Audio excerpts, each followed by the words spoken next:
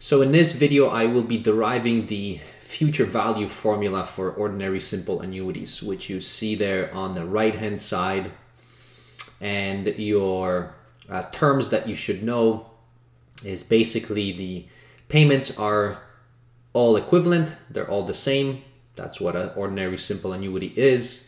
They are located at the end of each term. So we have n terms. So here's your first term, here is your second term or your period that you have, third, and so on, all the way up to, and I'm going to assume that we have n of these. So let's label them. So that's one, this is your second, this is your third, and it continues on until you have n of them and that is your payment. Your interest that you have is labeled as I, and that is the interest per term. And because it is an ordinary simple annuity, then your actual compounding uh, interest is exactly the same as the uh, period for your payments. So how do we derive this thing and how do we come across to the formula that you see there on the top right hand side? Of the video that you're watching. So if you were to take this and start to try to find out from first principles what the equation for the future value is. So our future value would be basically located at this point right here. So our future value is basically at that particular point. That's where we want to know our future value and that future value that we have, we would want to be able to move all the payments to that focal date. So now your last payment is basically at the future value. So there would be no interest associated with that first payment. So this payment would stay the same. So what we basically have is future value is equal to, so this would be your only your payment. So that's that payment number N, that's the first one. Then you have to move payment, okay, which is your payment N minus one, and you're only going to move it one term over. So this would be equal to payment. So we're moving it. So 1 plus i, 1. So that's the first payment that is being moved and then you continue and you do the same thing right here. So I'm going to make this a little bit smaller for us and shift it down a touch.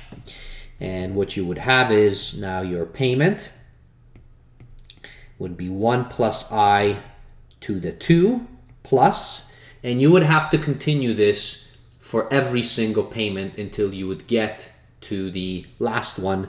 So we would have to do every single payment. Now the last payment that we have, so this one, if you would move it all the way to the future value, so what you would have, so let me put dots here, you would have that that payment is basically 1 plus i, and it would be n minus 1 terms. Why? Because that first payment is at the end of the term. And that's why it would be n minus 1. It's not starting right in the beginning.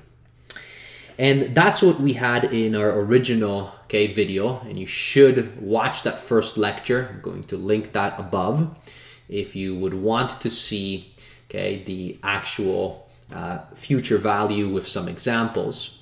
This is only for the derivation of the formula. So I have this and what I'm going to do now is I'm actually going to multiply.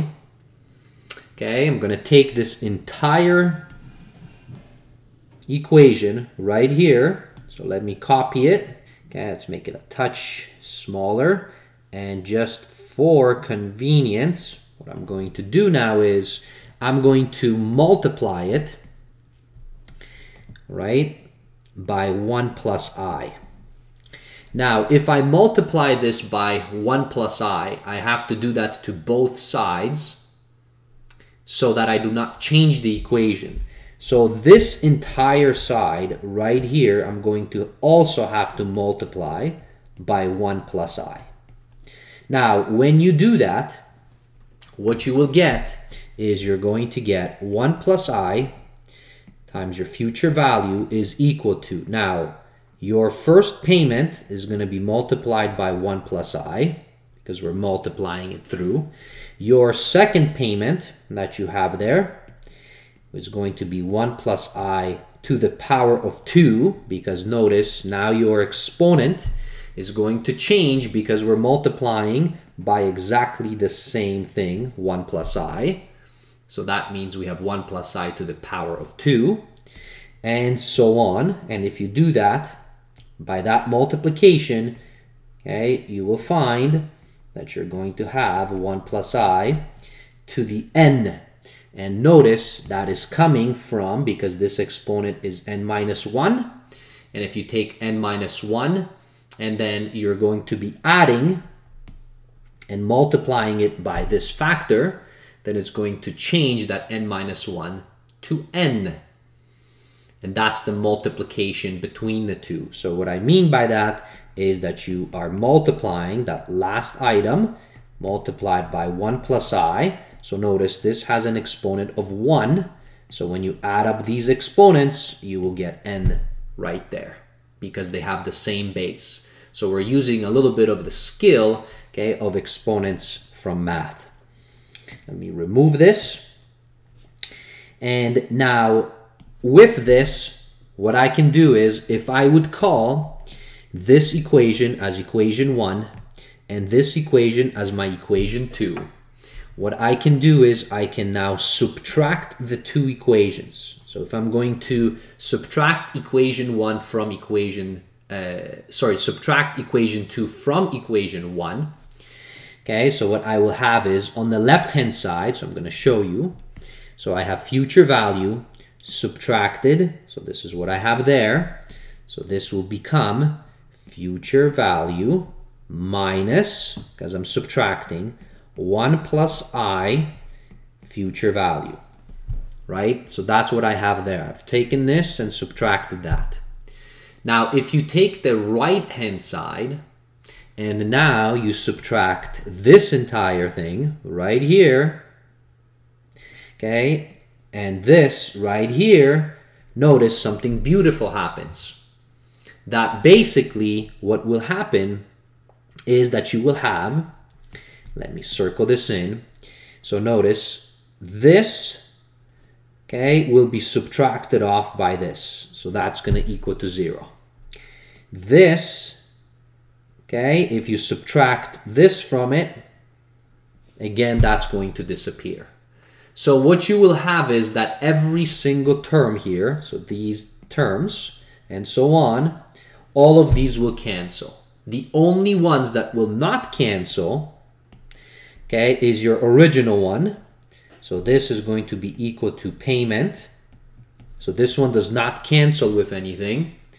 Minus your last one right here. This one will not cancel with anything either. So that's going to be payment 1 plus i to the n.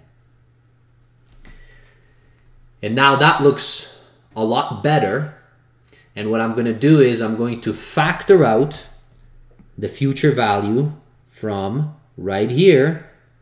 So if I factor this out, what I will have on that side is, so I'm going to have future value, I'm factoring it out, 1 will be remaining minus 1 plus i, okay, because I factored this out. But notice what happens here Okay, you have 1 minus 1, okay, and then the negative i. So you're going to have 1 minus 1 minus i inside of that bracket.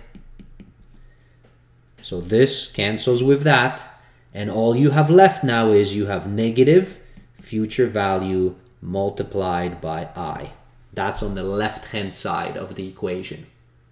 On the right-hand side of the equation, what you have is I'm going to factor out the payment because it's the same. So I'm going to have payment, then factor that out. So 1 minus and I'm going to have 1 plus i to the n. Okay, so this is what I have.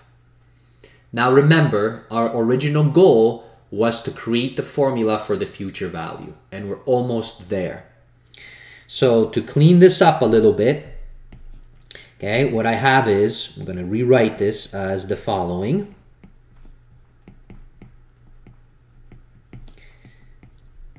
So I am just shifting the term over. So that's that. And now what I'm going to do is I'm going to divide both sides by negative i. So that's going to leave me future value equals to, so now notice, payment, 1 minus 1 plus i to the n divided by negative i, which came from, okay, that left-hand side. And this negative right here, so this negative right here, okay, I am going to bring it, okay, up because that just means negative 1, right? So that's what it means. It means I have a negative 1 there. So what I can do is I'll take that negative 1 out. So negative 1 times payment, 1 minus 1 plus i to the n, and all I have left at the bottom is the i. So that negative got pulled up to the top. And just so that you can see now, what I will do, okay, to finish this off, is I am going to bring this negative inside of the bracket. Okay, so I'm going to multiply these in. So negative 1 times 1 becomes negative 1. And then the negative will cancel this negative as well. So what you will have is you're going to have payment in front. I'm going to keep that front.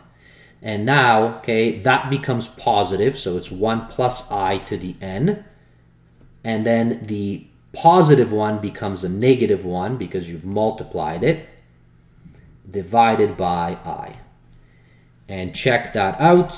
It is exactly your future value formula that you have on the top right hand corner. I know fun for those who like math and algebra. Okay. Now, it's not easy to come up with this on your own. You have to be a little bit familiar, okay, with some tricks of proofs. But maybe for the one out of a, I don't know, a thousand or 10,000 students that actually are wondering where this future value comes from, this one right here, well, now you know and I'm curious, put a comment down, let me know if you understood it. If you understood it, thumbs up, right? You can try it out on your own, and now at least you know that it's not magic. And math is definitely useful because if we actually, in ordinary simple annuities, had to calculate the future value, by calculating and moving, so basically creating equivalent values for every single payment, that would be crazy that we would have to do that. Because if you have, let's say, 50 or 100 payments, imagine having to do 50 or 100 calculations of equivalent values and then adding them up. Sure, I mean, you can do it, but uh, it's much easier to have this very simple formula. And it comes from some man, uh, manipulation of algebraic okay, structures, okay, and terms and subtraction. All right, thanks for watching. I'm super curious if somebody actually is going to hit a like on this. Uh, if you are, then uh, uh, I guess you're in my boat and you like uh, proofs. Okay, bye everybody. Okay, take care and see you in a future video.